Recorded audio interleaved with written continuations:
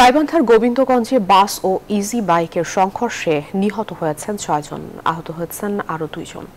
সকালে ঢাকা রংপুর মহাসড়কের কালীতলায় এই দুর্ঘটনা ঘটে।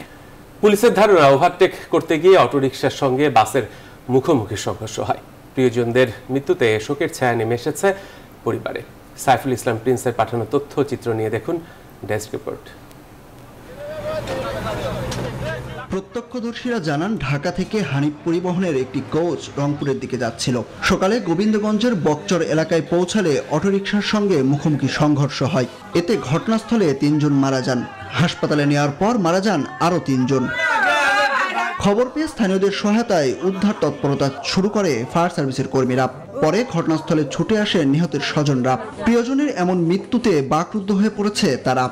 প্রতিনিয়ত অসংখ্য প্রাণ ঝরে যাচ্ছে এই বিশ্ব রোডে। তা আমি আমার ভাইয়ের মতো আর কাউকে হারাতে চাই না। শুনলাম যে মারা গেছে সরাসরি চলে আসছি। আসে তো আমি দেখলে শুনতেছি যে হচ্ছে বাজার করতে যায় মারা গেছে। খালি থানার ওখানে ওই গাড়ি নাকি এইদিকে ব্যাক করতে হানিফ গাড়ি আসে মানে বাজে দিয়েছে দিয়ে তখনই তো ওনারা সবাইগুলোই আহত হয়ে গেছে। গোবিন্দগঞ্জ হাইওয়ে থানার ভারপ্রাপ্ত কর্মকর্তা জানান ওভারটেক করতে গিয়ে অটোরিকশার সঙ্গে ওই বাসের মুখোমুখি সংঘর্ষে এই হতাহতের ঘটনা ঘটে। এরই মধ্যে বাসটিকে আটক করা হয়েছে। মারা গেছে তার থেকে আমাদের মোটামুটি সবার নাম ঠিকানা পেয়েছি। বাস আটক করা হয়েছে। আমি মেয়াজা রেডি করা হচ্ছে। মামলা হবে। প্রক্রিয়া দিন। Desk report news twenty